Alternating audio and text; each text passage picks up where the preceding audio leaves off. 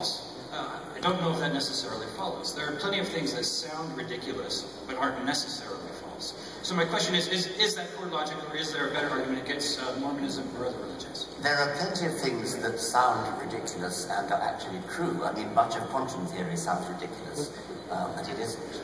Uh, and so there's, there's a lot that's highly counterintuitive. But that doesn't mean that something that, sound, that sounds ridiculous is necessarily not ridiculous. And in the case of Mormonism, it clearly is.